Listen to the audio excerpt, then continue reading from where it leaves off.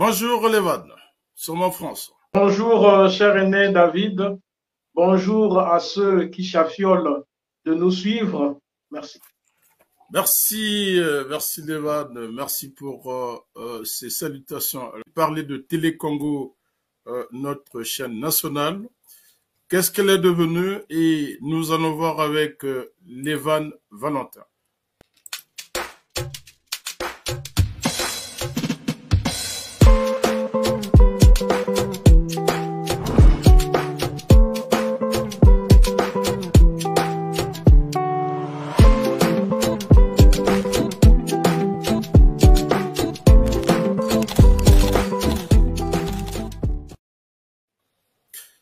Devoir de mémoire, nous sommes de retour. Lévan Volontaire, la télé Congo, qu'est-ce qu'elle est devenue, cette chaîne nationale? Merci pour la parole, cher aîné David. La télévision congolaise, Télé Congo, il faudrait que on ne puisse pas oublier que c'est une chaîne qui a été créée le 28 novembre 1962.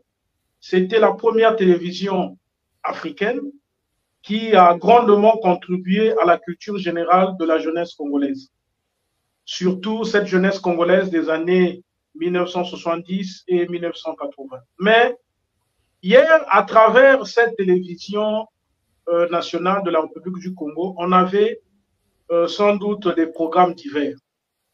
Par exemple, on avait des films comme Le Trésor de Matakumba, on avait sans doute des documentaires comme euh, le monde en guerre, on avait des dessins animés comme Belle et Sébastien, on avait des émissions comme Kebana Caméra ou Les Insolistes, on avait des shows comme Vidéo 45 et surtout on avait euh, des JT qui ne parlaient pas seulement de la politique, mais aussi euh, des choses louables de la culture. Donc euh, à travers ces JT, on pouvait simplement avoir des explicités littéraires, on parlait des écrivains, et aussi des musiciens et sans oublier des peintres ou simplement des acteurs civils. Il n'y avait pas le culte de la personnalité. Mais aujourd'hui, qu'est-ce que nous regardons à Télé Congo? Nous ne pouvons que critiquer nos gouvernants actuels de la République du Congo parce que nos gouvernants ont transformé en quelque sorte Télé Congo une chose qui est devenu simplement l'outil quotidien du propagande despotique du sassoutisme. Et le Conseil supérieur de la liberté de communication dirigé par M.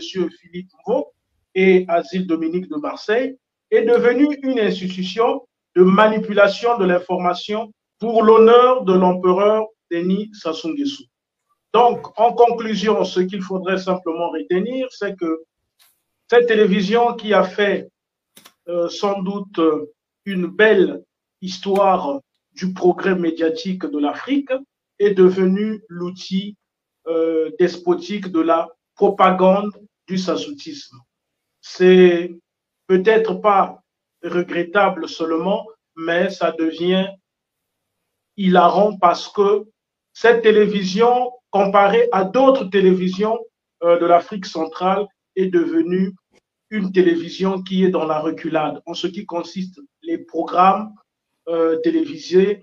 Donc, euh, il sied aujourd'hui à rappeler même au ministre Thierry Mungala et ses acolytes, parce que euh, c'est un ministère qui reçoit les taxes, l'audiovisuel, de faire les efforts pour que cette télévision puisse retrouver ces belles couleurs qu'elle était censé d'incarner ces couleurs de l'évolution médiatique de l'Afrique.